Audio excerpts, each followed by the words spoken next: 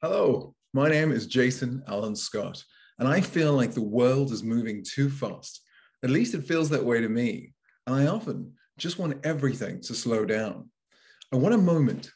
I want a moment to breathe. I want to think of a simpler time. Call me nostalgic, and at the risk of dating myself like a fly caught inside amber, Jurassic Park reference, allow me to say it wasn't that long ago that music was something you went into a store for, something you would pick up, something you would hold, something you would feel, something you would contemplate, you would think about, you would touch, you'd move around, you'd smell the very vinyl, you'd read the back, you'd wonder who the featured artists were. And if you were lucky, you'd go into a small booth and listen to it, all before making the purchase. And today, all of that is available on stream and online.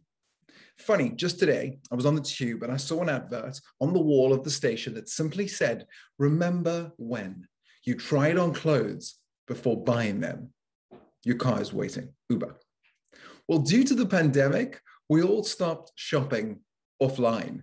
We stopped shopping in stores. And that was just a year ago. The truth is, just a year ago, I had friends who had never, ever shopped for clothes online. And it wasn't that long ago that our loved ones or family members would speak to us powerful words like, How are you? And I love you. And it was something that was said aloud on a device plugged into a wall that the average Gen Z would not be able to recognize today. It wasn't that long ago that turning 16 came with a driver's license and a set of car keys not a TikTok account or an opportunity to speak your mind on Clubhouse. So much change, so much change amongst the crisis that we currently see. And it is not, is it not in change that we all feel unstable or unsettled? Now, just 13 years ago, I worked in venues, 2008. And that was a time much like today, shrouded in crisis. I felt like it was a time of, of two times, a good time and a bad time, the best of times and the worst of times. Nobody had money to spend on my venues, but the emergence of social network technologies and platforms creating social communication technologies was growing at a super fast speed. People, consumerism, connectivity, and communication became something to pay attention to, and that made it better times. The thing about 2008 and any time of crisis is truly it's a time of revolution it's those times where anything predictable, anything certain becomes uncertain and unpredictable. But at the same time, that gives us nothing to put our faith into. I didn't know if times would get better or worse. And a lot of us feel like that now. But the truth is, we do have something to hold on to, and it's called history. We have history to fall back on. I had my own personal history. I had seen the doom of apartheid in South Africa. I'd seen AIDS come and go. I'd seen a tsunami in Thailand and the after effects of a large wave. I was in not one, but two ISIS attacks. And there was a pattern. Times like the ones I've just mentioned and the ones we're in right now, they come to pass, they don't come to stay. But what follows them is accelerated change like the times before this in human history, in times pre crisis, time moves pretty slow, if you will, in human years. But in times in crisis and times shortly after, it seems to move in dog years. And in these periods of change or crisis, everything changes.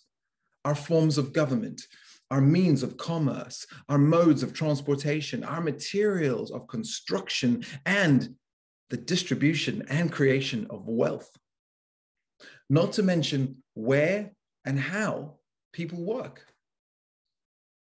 Every world change has happened quickly in these compressed moments.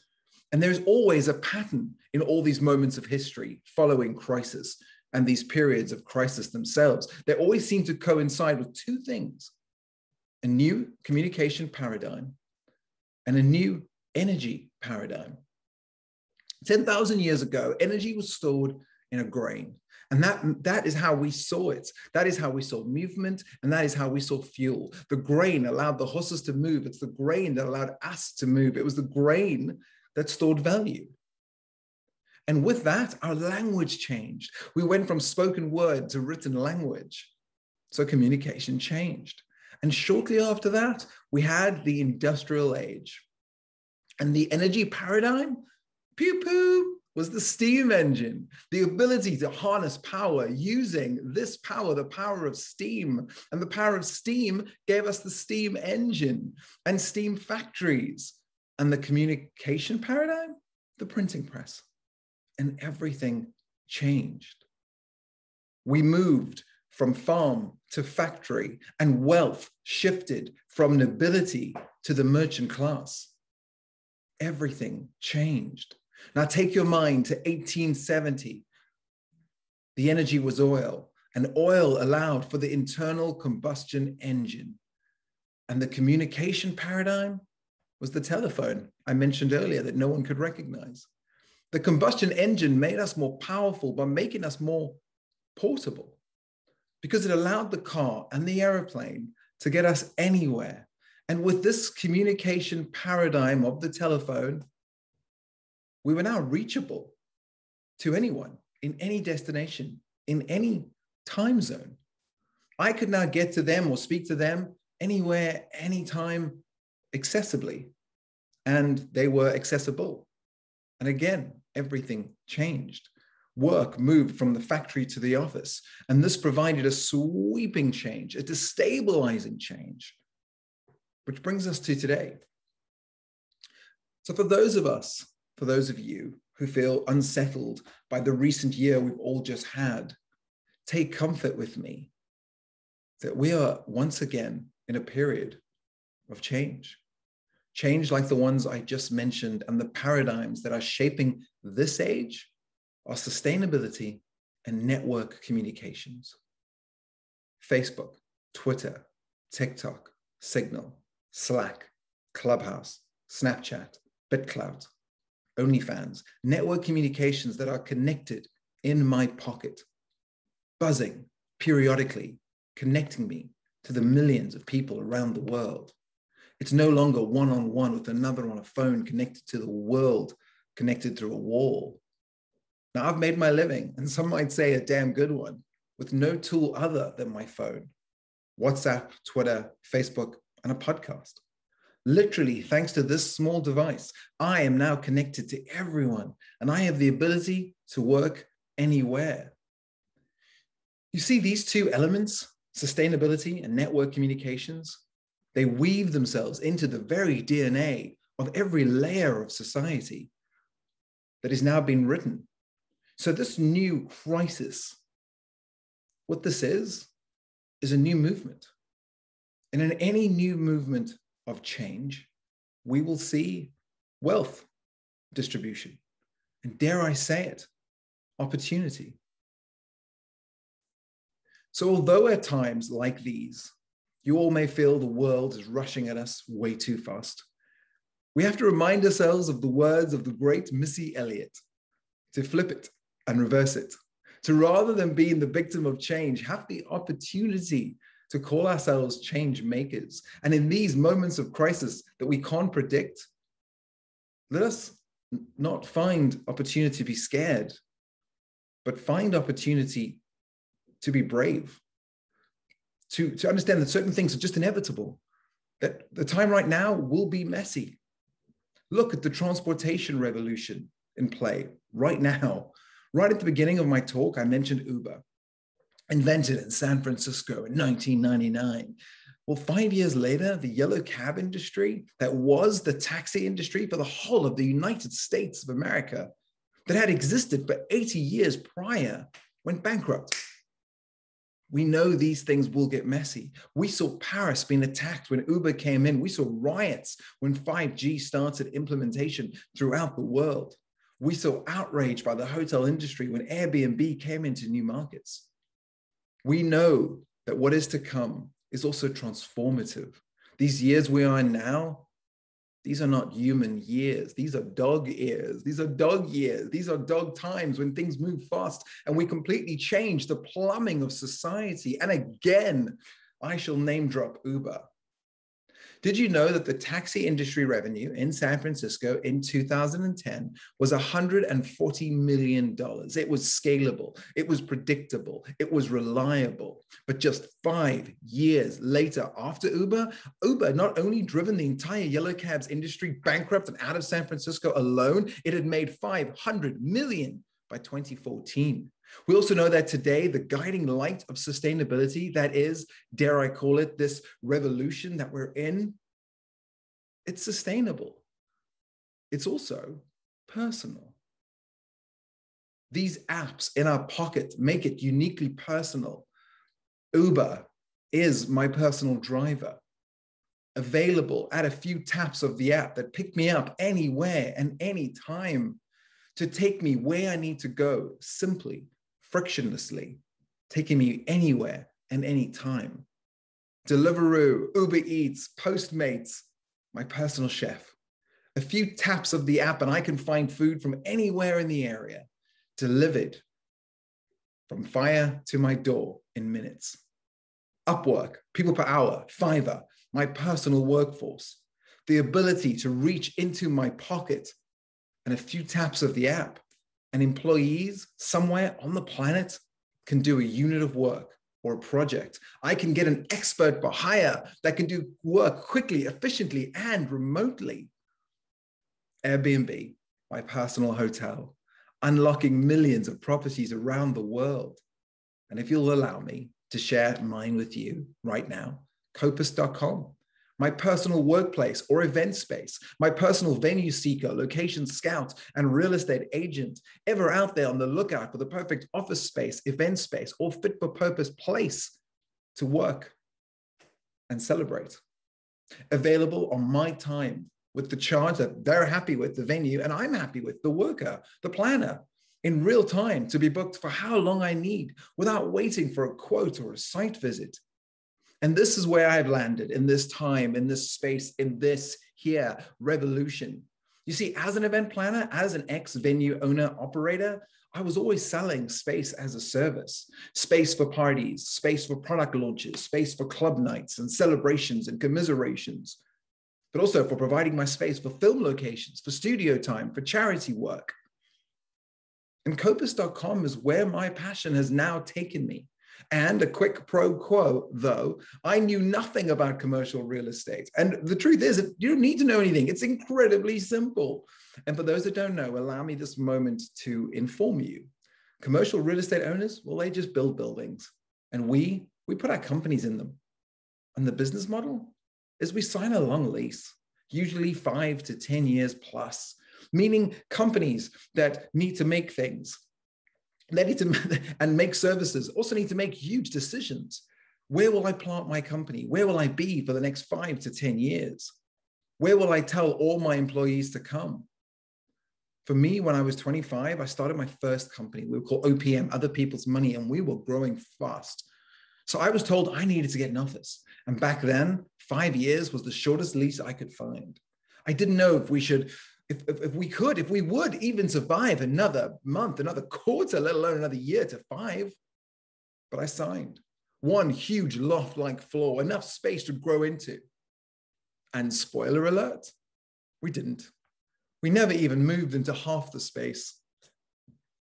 All that extra real estate I was paying for simply went to waste which reminds me of my first space that I ran in events as an owner operator.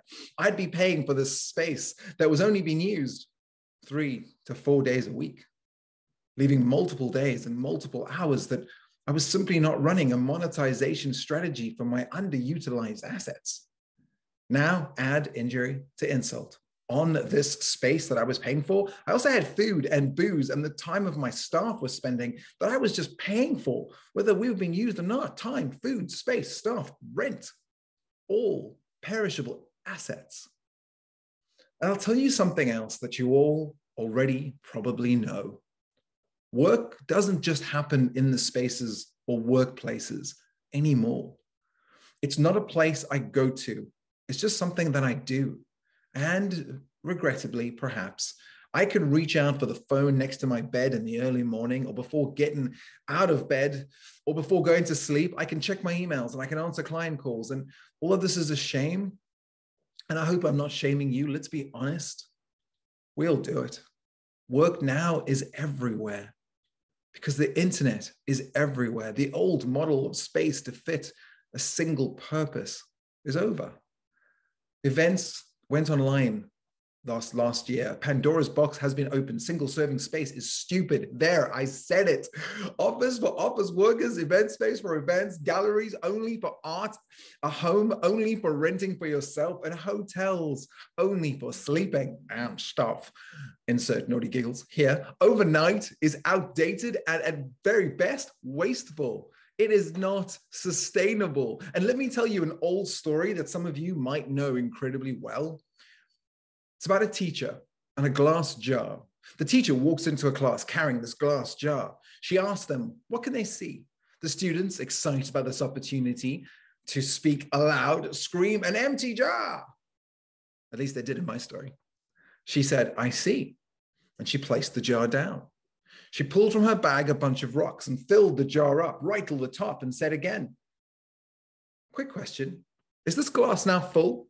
To which the kids excitingly exclaimed, Yes, teacher. The teacher smiled knowingly, reached into a bag and grabbed gravel and added the gravel, and the gravel filled the space between the rocks until it was full. And again, the teacher asked, Is this glass full? And again, without hesitation, the kids excitedly screamed, Yes.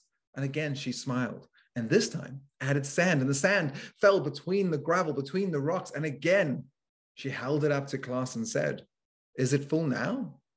This time, the kids double checking and triple checking around the jar and looking around confirmed, yes, the jar is now full. And then she added the water, and everyone in the class began to laugh. The truth is, this is how we have been operating in our venues and our spaces for far too long. We have filled it with rocks, the space only to be a single serving place, only for product launches or celebrations or restaurants that only serve meals at certain times, a photo studio only to take photos in. And the truth is, there's always been an opportunity to add gravel. And for many of us, gravel was catering. And for those of us that also added sand, we added something small like private dining, space for a birthday party. If the truth is that each time we believed we were full, we were not, well, that means that there is always plenty of opportunity for more. It is the first event professional, I was the first event professional in the UK to make a million in 12 months, from zero to a million, from nothing. I kept finding uses for my space at every opportunity. And four years later, I did it again. I made a million in five months because I always saw the glass, not as the kids did, but as the teacher did. And right now, I'm telling you, just like the teacher told those kids, there is space for more for all of us. More workplaces for remote workers, for freelancers, for urban digital creatives, for the gig economy workers. Our venue, our venue landscape today is that glass and the rocks or how we try to fill the buildings is just one thing that we do. And we're about to start what many economists are calling the next roaring 20s. Yet almost every site, venue, landscape that we have surveyed is at least 10% empty at any given time because we cannot fill the vessel with rocks alone. We need the gravel and the sand and the water. These empty sections and spaces that sit empty, underutilized, ready to be modernized and monetized. I'm here to tell you that these buildings, we're overpaying for these spaces. And surely what we have done is not sustainable, let alone effective. And worse than that is that not only is the business manager or property owner losing money? But people like me, desperate in 1997 for a workplace with long leases, just needed it for a couple of days, a couple of hours to test our theories, to test our products, our services, our hypotheses. And let's put on our Greta Thunberg lenses and look at things from a sustainable perspective. Or for the capitalist in the audience, let's look at it with an economic utilization standpoint. This is very, very inefficient. And if we go back into the Greta mode and look at the environment, the building model is inadequate in today's lens of true sustainability statistics. Did you know, as this is a USA and Canada talk, that you have 79% of the USA's electric consumption powers buildings? Let me say that again and let me say it slow. 79% of the US electricity consumption powers nothing but buildings. And 39% of the world's carbon footprint is causing the global warming, affecting us all. 39% from buildings that are just sitting there underutilized. In fact, even venues that are supposedly quote unquote 100% occupied, the reality is based on hundreds of surveys to the market that prove that the typical let's call it hotel room for easy understanding, is underutilized even at 100%. It's only 30% of the time being used by the occupier. So, what can you do? Well, the answer is clear. It's clear as the glass the teacher brought to class. We need to fill that glass. And I'm proud to say it's in play right now. The same apps you use are transforming real estate and venues. Like never before in a time we've seen. And the two big pieces we needed to fit the jigsaw are once again in motion technology and network communications to rethink how real estate and events, workplaces, and meeting spaces, renting takes place. Starts with online. The internet is now the internet is now where we can book offices, studio, and event locations. Bookings can and will happen online through technology. And the second piece, which let's be honest, is far less sexy, but no less critical, the framework of the paperwork, you know, the terms and conditions, the small print, all of that can be simplified we can standardize. And this is not so far from move, so far removed from what currently occurs at your local hotel when you agree to stay over. It's online. It's simple. It's end to end. And what does that look like? I'm happy to share that both workplaces and event spaces are embracing this new revolution. That spaces and places of all kinds are becoming available like that with a tap of the app. And companies of all kinds are putting up their space, placing their studio, event, or hospitality venue on platforms like kopus.com. K-O-P-U-S.com.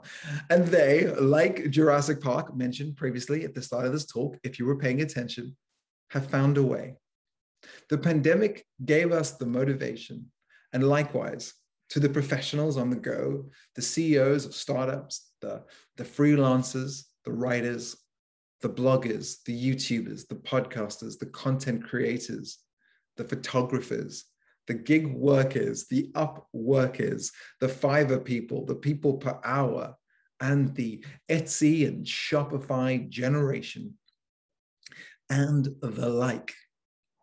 Well, they can now find a home to work, to create, to launch, to network, to make, to test, to share. So, in these times of crisis and change, when the fabric of time is rewritten, human years and dog ears, oftentimes there is an old guard that is simply swept away.